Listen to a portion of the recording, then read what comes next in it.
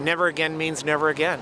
That the deaths of the millions and the Holocaust, it should be a living lesson. It's not just an historical lesson. I mean, Henry Kissinger played a direct role in the murders of 3 million plus Laotians, Cambodians, and Vietnamese.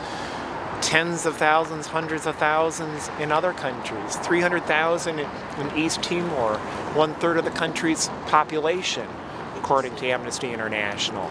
So they're saying never again means opposing genocide and, and wanton murder and torture today as well as back in the 30s and 40s. This has got to be a living lesson. It can't be just about history. Henry Kissinger. War criminal. Henry Kissinger. War criminal. Henry Kissinger. War criminal. Henry Kissinger.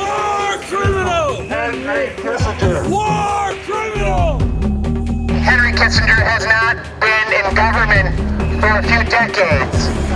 But there's no statute of limitation on inciting murder, organizing murder, organizing torture.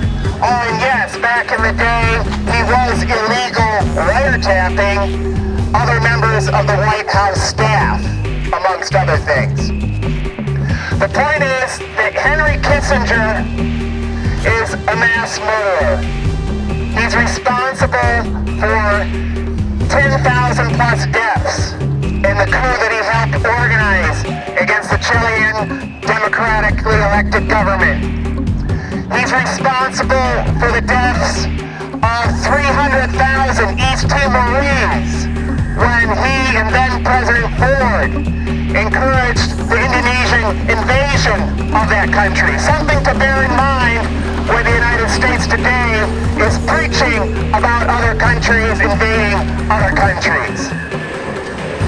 Moving closer to the present, he was directly involved in helping get the United States allied with invading an invading army from the racist apartheid South African government to invade the newly independent uh, country of Angola.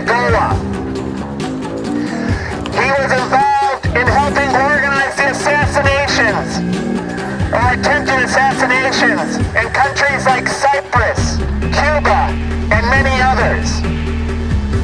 He was, of course, involved as a leading proponent of the U.S. war on the peoples of Vietnam, Cambodia, and Laos. Over 3 million people died as a result of that war, and many to this day continue to suffer cancers, and so forth. This is Henry Kissinger, but Henry Kissinger is more than just a war criminal.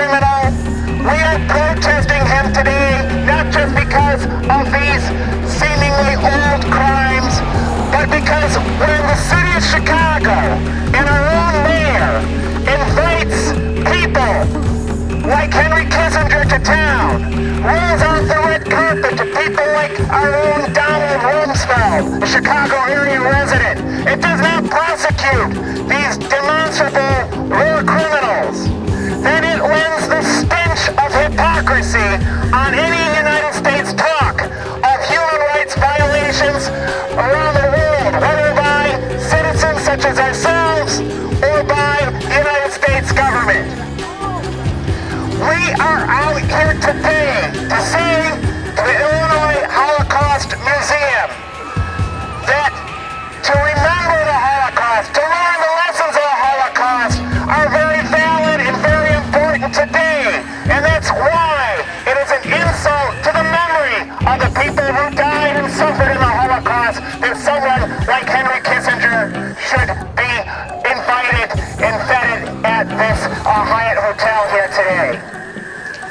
It is a shame, and it is a stain upon the city of Chicago that a war criminal like Henry Kissinger is given a pass.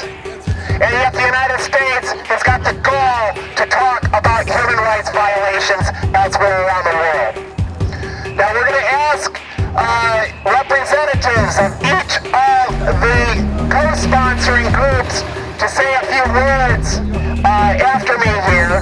and then we're going to have an open mic. But I'd like stress that this protest is not against the idea of a Holocaust museum or against the Illinois Holocaust Museum itself. Rather, it is a protest against Henry Kissinger, a demonstrable war criminal. It's against oppression of all sorts, including anti-Semitism, including racism, including anti-gay uh, bias, etc.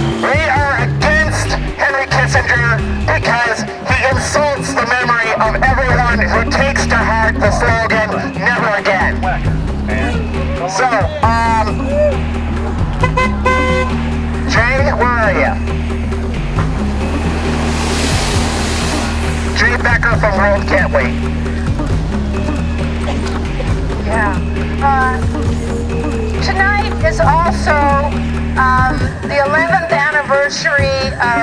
Shock and Awe, the cynical name that the uh, U.S. government gave to its devastating attack on Iraq that opened up more than a decade of destruction and death for the people there, uh, destruction that is far from over.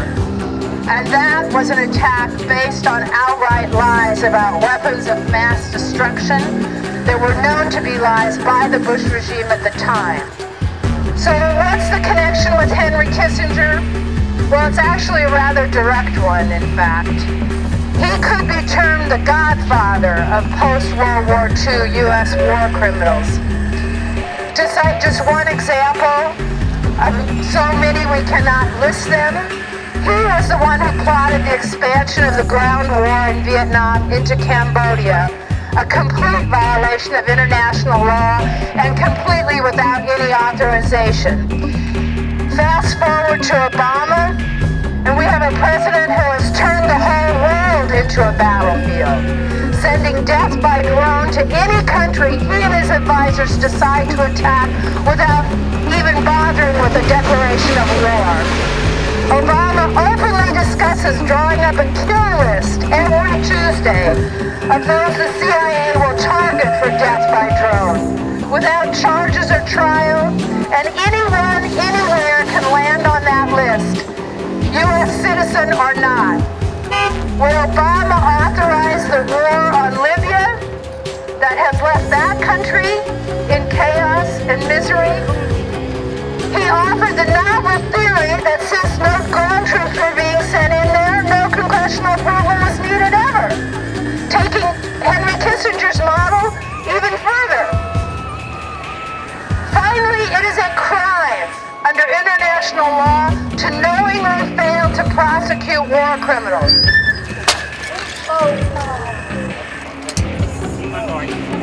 Unfortunately, uh, so it is not hyperbole So, it's not hyperbole to say that every U.S. administration, certainly since Henry Kissinger, is guilty of war crimes. We just don't have time to list them all. But we will demand and continue to demand that they be prosecuted for their monstrous crimes because American lives are not more valuable than anyone else's, and the world truly can't wait for us to put an end to these wars and torture for empire. Thanks to everyone for coming out tonight. It really has to be the case that this man can go nowhere without being met by protests. Thank you, Jay.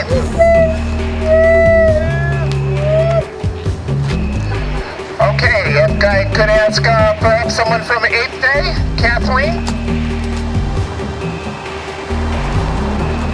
Thank you. Actually, I'm here um, for the School of the America Watch, who wants to send um, the greetings and of solidarity uh, for this this demonstration. And uh, I feel like I'm talking to the choir, but as we know, the choirs need practice. So this is a, a statement from the School of the America Watch much of which know, but time and again it seems as though many people in this country, public officials and citizens and people that would invite someone like Kissinger to uh, they're, they're, were asleep. And they continue to suffer from what appears to be collective amnesia of history. I think we uh, the Allende Chile. What about Argentina, Brazil, Paraguay, Bolivia, Uruguay, where Operations Condor disseminated social and political movements in collusion with the, some of the most brutal dictatorships of America has ever seen. We remember and we stand with you today with help to help others as well, to never forget. At a time when our brothers and sisters in Latin America are holding war criminals accountable for human rights violations committed in the past, many of whom are graduates of the School of the Americas, which is now renamed the Western Hemispheric Institute of Security Cooperation. It's a flagship military training school for Latin American soldiers, funded by our tax dollars. And we in the United States must begin to do the same and demand accountability as well. Without truth, without memory, there's no justice. Without justice, we will continue to fall on our political and ethical demand of never again, nunca más. Is the height of hypocrisy that Henry Kissinger is speaking at the Holocaust Museum here in Chicago. His human rights record in Latin America is abysmal. We remember that Kissinger was responsible for promoting and fomenting the September 11, 1973 coup against democratically elected Chilean President Salvador Allende. We remember that he was awarded a Nobel Peace Prize just one month after this nefarious coup. We remember that in 2003, declassified documents revealed that the U.S. Secretary State of State, Henry Kissinger, and a high-ranking U.S. official gave their full support for the Argentine military junta and urge them to hurry up and finish the dirty war before the U.S. Congress could cut military aid to Argentina, thus giving the green light to the 1976 to 1983 military junta as they disappeared 30,000 of their own people. So yes, let's let Kissinger speak but not about humanitarian issues, nor peace and justice issues, or even about democratic principles and the rule of law, and much less in places like the Holocaust Museum, where we honor the memories of the martyrs. His record of violating human rights and international treaties tells us that he is ill-suited to speak to these issues and these principles. What can we learn from a criminal that said to General Augusto Pinochet about his brutally repressive dictatorship? And I quote, this is from Henry Kissinger. In the United States, as you know, we are sympathetic with what you are trying to do here. I think that the previous government was headed toward communism. We wish your government well.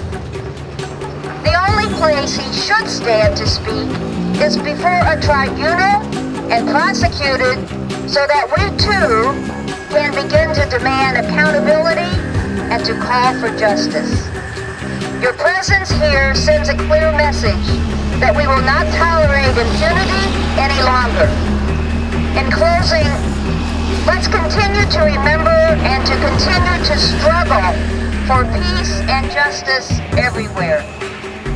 Salvador Allende, presente. Orlando Letelier, presente. Victor Jara, presente. The more than 50,000 murdered, the more than 30,000 disappeared, countless tortured, and the hundreds of thousands of political prisoners under Operation Condor in Chile, Argentina, Uruguay, Paraguay, Bolivia, Brazil. We say presente. Thank you. Thank you, Kathleen. Now, there are a number of other uh, representatives of uh, co-sponsoring organizations here uh, that I'd like to invite to come up here to say a few words. Uh, Jewish Voices for Peace. Like uh, I'm Elaine Bachman. I'm representing Jewish Voice for Peace. We're a grassroots organization advocating peace between Israeli Jews and Palestine.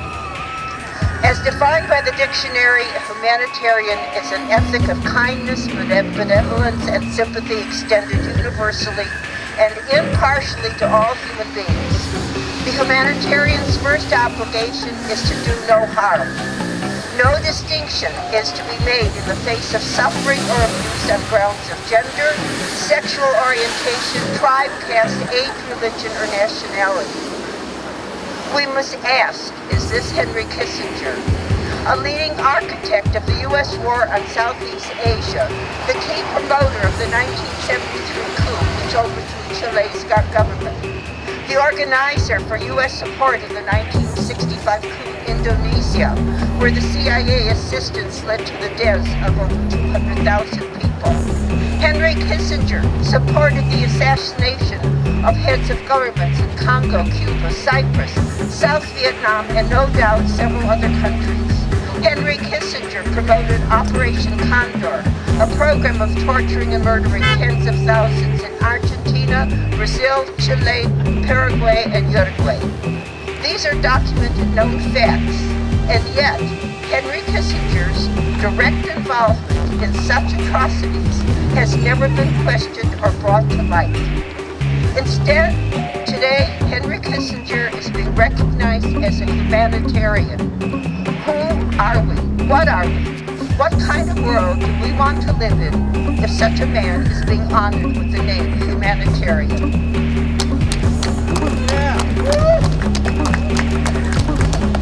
Thank you. Uh, now, Lynn from uh, Jewish Voice for Peace is going to read a statement from Rabbi Brant Rosen, who could not be here today. Well, this is a rare opportunity to in Brant's shoes, but I'm honored to read this. Um, as a rabbi, Jew, and a person of conscience, I was profoundly dismayed to learn that Henry Kissinger was chosen by the Illinois Holocaust Museum to be the keynote speaker, to be the keynote speaker at its humanitarian awards dinner. This choice is most certainly at odds with the mission and good work of this important institution. I cannot understand how a man who was the architect of our nation's war crimes in Vietnam, Cambodia, Cambodia and Laos, who was instrumental in the brutal coup in Chile and other acts of illegal international intervention around the world, could possibly be considered an appropriate speaker at a gathering that celebrates humanitarianism. The mission of the Illinois Holocaust Museum and Education Center is to remember the past, transform the future, and to preserve the legacy of the Holocaust by teaching universal lessons that combat hatred, prejudice, and indifference. Given this mission, I urge the museum to think seriously about the messages it sends when it associates itself with figures such as Henry Kissinger. Thank you. Um, next, I want to introduce A.J. Signeri, who's also been part of the planning of this action. He's going to speak briefly for Third Third Coast Society. So, thank you. Thank you, Jay. Um, I am the program director for Third Coast Society based here in Chicago. Um, I was one of the plan coordinating of all this. Um, thanks for, with Andy and Jay and Eric. Thank you for doing this. Um, very brief. We all know Harry Kissinger is a war criminal. We all know about Operation Condor that's just been mentioned. The very genesis of School of the Americas was the Conference of the Americas. Those people have been missing in Chile, in Bolivia, in Paraguay, in Uruguay. we're talking about Harry Kissinger, who has oppressed and repressed Southeast Asia and Indonesia and Vietnam, who cannot forget Vietnam. We don't forget. The people in there don't should not forget that too. How can we we remember the past, but we need to transform the future? They need to do the same thing by transforming the future, but not inviting this guy to this for $25,000 Speaker Bureau. That we need to stop. So I'm not going to take up all the mic. So thank you for everyone coming out here with the Chicago Indymedia and other media people out here. Thank you. We're all fighting the good fight. Thank you. And uh, next, Eric Reuter from International Socialist Organization, which was also part of the planning from GET. I think it's very important that we all came together uh, from across all kinds of divisions, different opinions, or whatever, because everywhere Henry Kissinger goes, he has to be met by the strongest protest that we can put together. Thanks. Thanks. It is really a sad day when a figure who should be in prison for what, for the crimes he has perpetrated is actually speaking as a humanitarian to honor other humanitarians. And I think that it speaks to the fact that we have a lot of work to do as a movement so that it's a and just a reflex that you couldn't possibly invite someone like Henry Kissinger to this kind of an event. It should be embarrassing, and it's not. But I also want to say that at the same time, there is a change going on, I think, and I think that um, that's an important thing to recognize. Uh, I, I, think, in, in, particular, we've seen just in the last week or two, and many developments around an issue that for far too long has sort of been beneath the radar, which is the issue of Palestinian rights and Palestinian liberation. And all over the place, this is breaking out at this particular moment. And I think that that just needs to be said uh, side by side with the fact that we're here, I think at a, at a somber moment to say that, you know, Henry Kissinger, you're not welcome. In Chicago, you're not welcome as a humanitarian, and you really should be uh, in a prison somewhere. Uh, thanks. Uh, we do have an open mic here. Um, if someone else would like to add their perspective, here's Nick Agnetz from Veterans Northwest Indiana chapter of Veterans for Peace, another sponsoring organization. Can't wait to get that bike. Thank you very much, Jay. Thanks, and thank everybody for coming out here. Uh, we might think that maybe we don't make a difference, but we're we're witnesses. That's exactly what we are. I remember years ago, Kathy Kelly thanked me for my witness. I didn't even know what it meant. I thought it meant just to see something. But it's to live something. To live in opposition to the, in opposition to this criminality. This absolute criminality. I'm a Vietnam vet. And Henry Kissinger didn't send me there. He came in a little bit later. But uh, we, we have to object. We have to object to this criminality. And that's not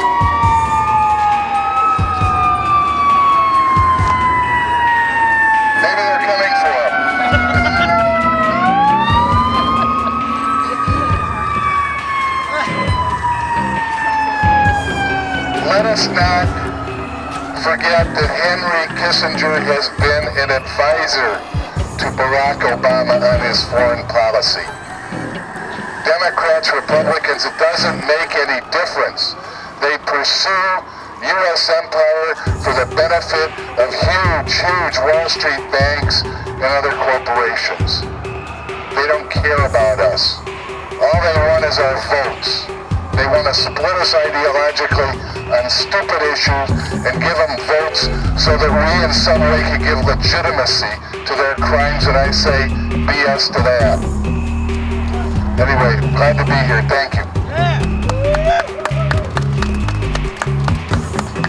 Thank you, Nick. I'm very uh, proud to now introduce Buddy Bell, who is both a member of the Gay Liberation Network as well as uh, for Voices of for creative nonviolence. Buddy has traveled to many of the areas of the world that have been made a lot more dangerous, a lot worse for wear, thanks to the policies of Henry Kissinger and his uh, uh, the people who came after him, the United States government. He's been to Afghanistan, to Honduras, to Cuba, to Mexico, and probably a number of places I'm leaving out. So uh, let's give a warm welcome to Buddy Bell of Voices for Creative Nonviolence and Gay Liberation Network.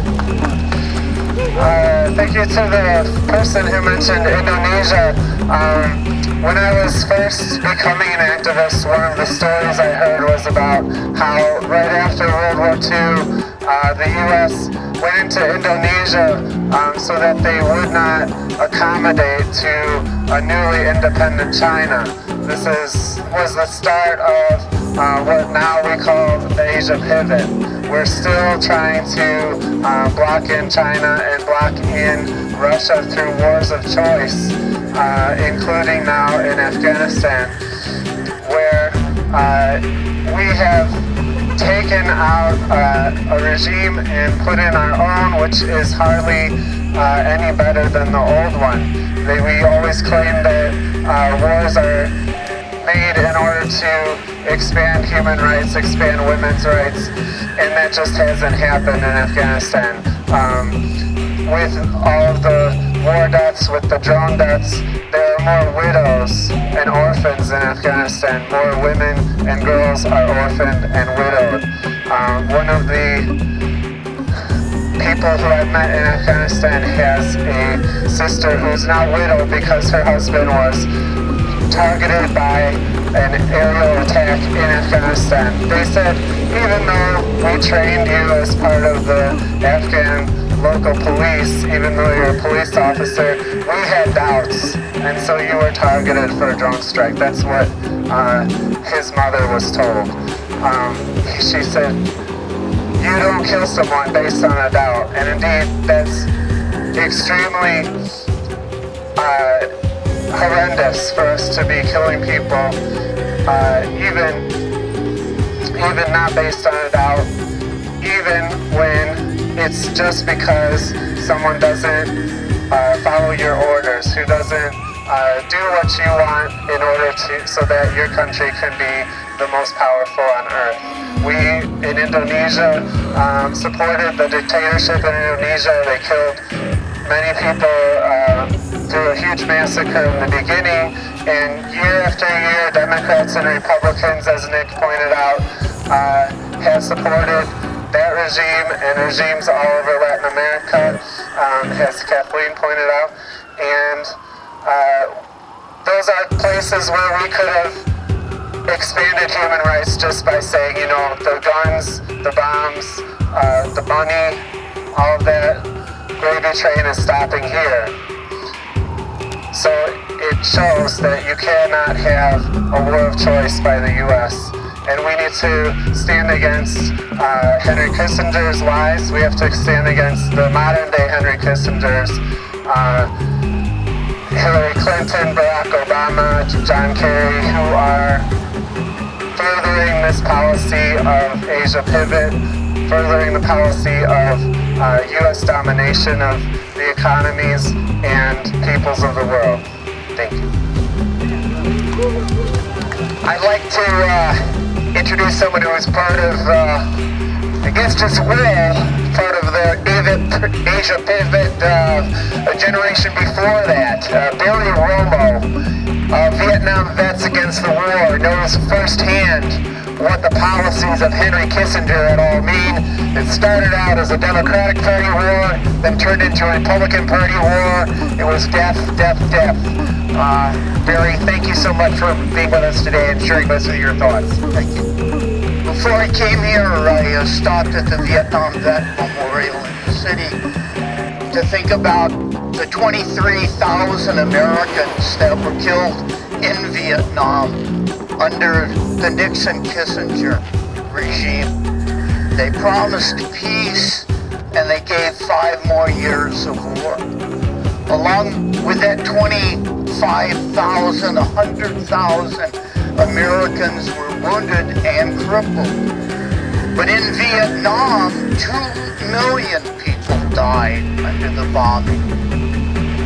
In December of 1972, I went to North Vietnam, to Hanoi, during the peace process. And the war was supposedly over, and we were bringing 535 POWs, packages, and letters from home. And three days after we got there, Nixon and Kissinger ordered an attack on North Vietnam in the middle of peace negotiations. Now, I'd always been raised to think the Japanese were wrong for bombing Pearl Harbor. Two, 150 to 200 B-52s a day came in and bombed. Tens of thousands of people killed. The largest hospital in Indochina, Bach Mai, bombed not once, not twice, but three times. The man is a war criminal, and you can give him a award, but it won't bring back the dead, and it won't erase the blood that's on his hands and his soul.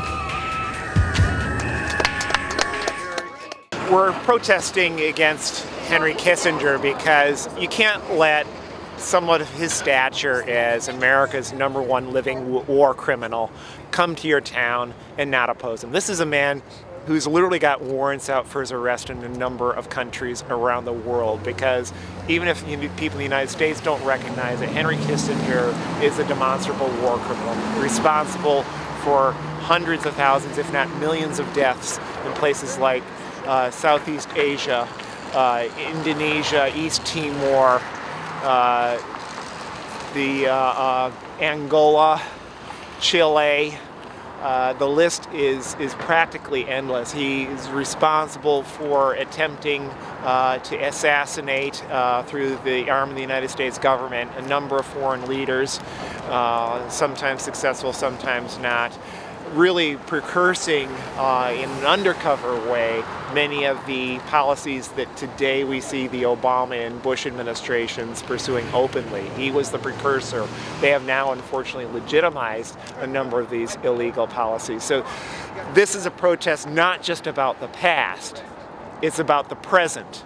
Uh, it's also about the present because our government goes around the world preaching to other countries about invading other countries, and yet that was Henry Kissinger's career, whether it was supporting the Indonesian invasion of East Timor or the United States invasion of Cambodia, uh, Vietnam, Laos, uh, the South African racist apartheid government's invasion of Angola shortly after the Vietnam War, over and over again. This man laid out and promoted the very policies that unfortunately the United States continues to, uh, to foster. And yet the United States goes around the world preaching to other countries about human rights. And there are horrible human rights situations in many countries, both allied to the United States as well as not allied to the United States.